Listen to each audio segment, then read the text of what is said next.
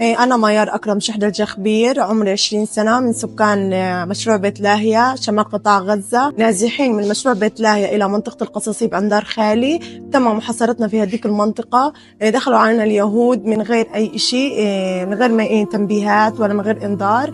دخلوا علينا حكوا لنا نطعم نشرب بعد ما أخذونا من الغرف نطعم نشرب نحمام قعدونا في صالون صغير.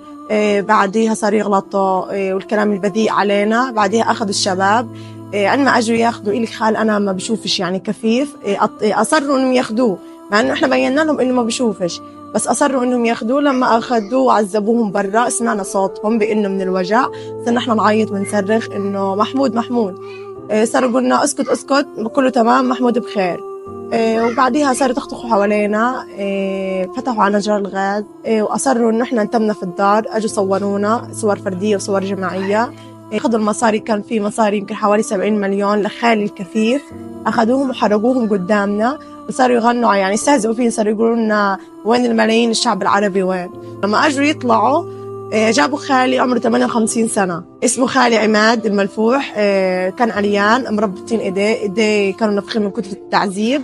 قبل ما يفكوا إيديه الجندي طال من جيبته إيه، أداة حادة. صار يعمل في جسمه يعني مزع في جسمه. إحنا نعيط والدم بينزل. صار دار علينا خالي صار يقولنا لو قتلوني قدامكم ما تحكوش ولا أي شيء على الأقل أنتوا انفذوا بريشك يعني أنتوا يعني أنتوا عيشوا.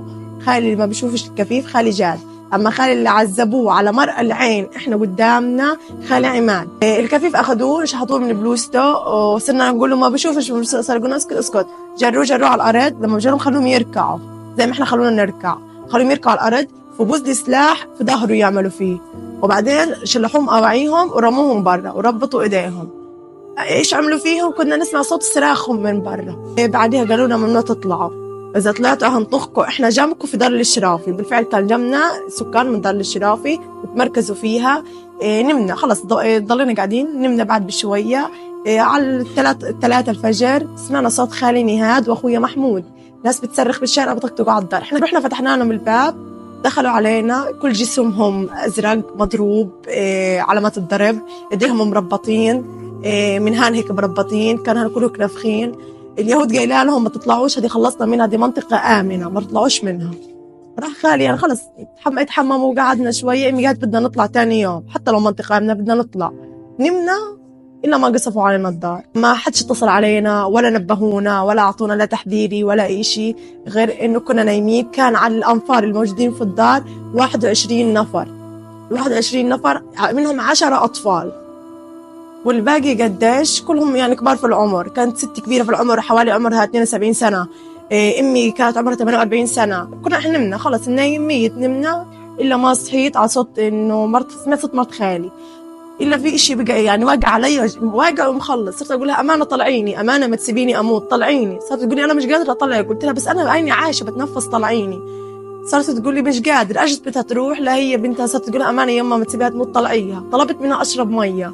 ما قدرت ما تقولي أنا مش قادرة أشربك مي مش قادرة أطلعك عشان أشربك ميه صرت أشرب في في الدم اللي بينزل منها كان هذا كله جروح هذا كله حرق مني.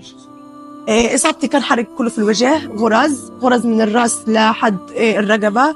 عندي إيه كسر في الظهر وكسر في, في غير الظهر كمان في الكتف. عندي حرق في الظهر وبرجلي.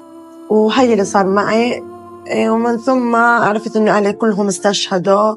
أجوا قالوا لي أهلك استشهدوا. يعني قالوا لي اياها مباشرة يعني الخبر مش مباشر ولكن بالاستدراج يعني. استدرجوا لي إليه قالوا لي أهلك كلهم استشهدوا.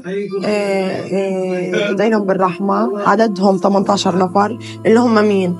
أمي خواتي التنتين بإخواتي الأربعة بخل... بإخوالي بمرت خالي بستي بنت خالي. أختي كانت متجوزة برضه هي بجوزها ببنتها.